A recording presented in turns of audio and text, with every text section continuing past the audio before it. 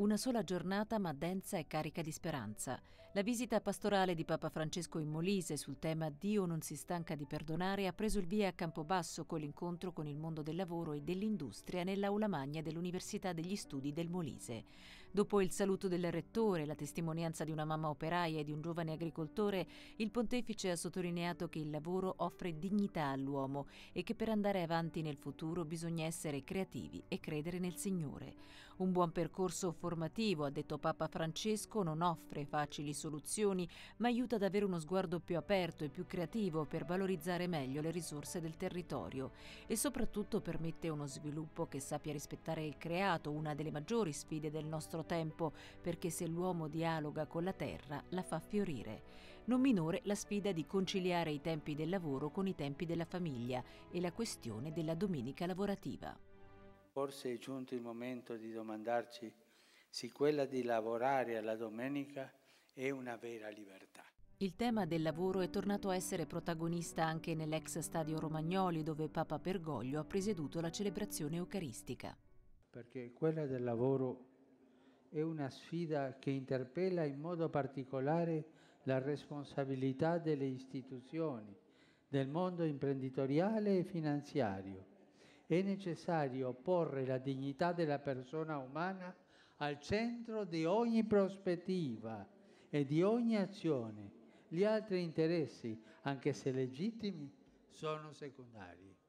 E la via per costruire un futuro diverso fuori dagli schemi è quella di mettersi al servizio degli altri secondo l'esempio di Maria.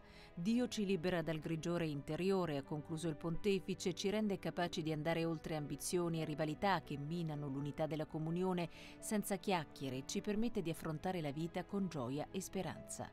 Con noi il rettore della Basilica di Castel Petroso, Don Massimo Muccillo. Eh, mi rendo conto anche dalla mia breve esperienza di tre anni, qui direttore della Basilica della Dolorata, che davvero viene premiato sempre chi ha la passione nel fare le cose e la passione premia perché di fatto ti fa sposare una causa eh, con tutto il cuore, quindi te, te la fa portare avanti veramente con gioia e con determinazione, non aspettandoti nulla in cambio e quello che ti serve per la vita arriverà perché qualcuno si accorgerà che tu lavori per passione e non per un vile tornaconto. E allora davvero la passione è quella che ci vuole per riprendere anche per poter dare risposte ad un lavoro che sembra non esserci. In realtà tante volte non c'è un lavoro a guadagno facile questo sì. Però se una persona è capace di coltivare la sua passione disinteressatamente, anche quella passione può portare i frutti sperati per farlo vivere. Dopo la messa Papa Francesco si è recato nella cattedrale di Campobasso dove ha salutato e abbracciato alcuni malati e disabili, quindi si è trasferito alla Casa degli Angeli, il nuovo centro caritativo della diocesi creato in una ex scuola dove ha pranzato con i poveri assistiti dalla Caritas, inaugurando così la struttura. Il pomeriggio è iniziato all'insegna della gioia con l'incontro con i giovani delle diocesi di Abruzzo e Molise al santuario di Castelpetroso. A tutti il pontefice ha chiesto di non farsi sopraffare dalla cultura del provvisorio che ci priva del nostro vero destino, delle mete più vere e autentiche e di costruire la propria vita sulla solidità delle promesse di Dio piuttosto che sulla sabbia delle emozioni. I giovani sono coraggiosi, ho detto, i giovani hanno speranza e terzo, i giovani hanno la capacità di essere solidali. E questa parola solidarietà è una parola che non piace sentire al mondo d'oggi. Alcuni pensano che fosse una parolaccia. No, non è una parolaccia. È una parola cristiana. Andare col fratello avanti per aiutare a superare i problemi. E non dimenticatevi, camminare la vita, mai girare la vita. Grazie. È vero, bisogna costruire non sulle cose facili, ma su quelle che richiedono appunto passione e questa parola torna perché Gesù nell'orto degli ulivi soffre la sua passione e la soffre anche sulla croce, che è una passione di sofferenza certamente, ma di una sofferenza che ha un perché e il perché di Gesù Cristo è l'amore. Particolarmente toccante è stato l'appuntamento con i detenuti nella casa circondariale di Isernia. Alla terza tappa della sua intensa visita pastorale Papa Francesco ha ricordato che nonostante nonostante gli errori e le cadute, nonostante il dolore per le conseguenze di scelte sbagliate, l'importante nella vita è andare avanti con speranza.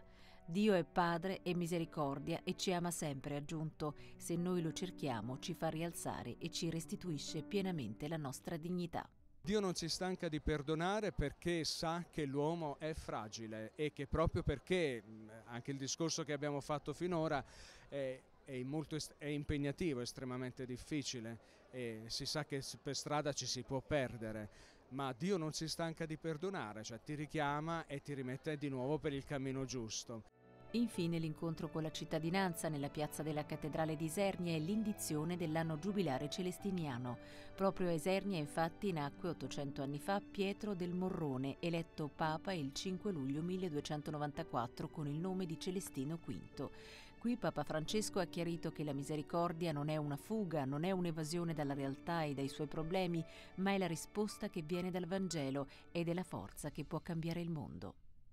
L'amore come forza di purificazione delle coscienze, forza di un rinnovamento dei rapporti sociali, forza di progettazione per un'economia diversa che pone al centro la persona, lavoro, la famiglia, piuttosto che il denaro e il profitto. Il Molise ha bisogno di riguardare la propria storia, la propria cultura, la propria tradizione, anche la propria voglia di fare e di riprendere dal viaggio di Papa Francesco veramente una decisione nuova per impegnarsi sempre meglio e sempre più a fondo per dare il meglio di sé e lo può fare.